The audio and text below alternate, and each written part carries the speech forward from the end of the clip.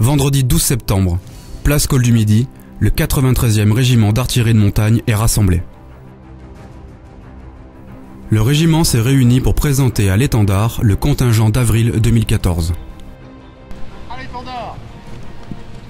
En présence d'élus, des anciens et des familles, la cérémonie était sous le commandement du colonel Xavier Renard.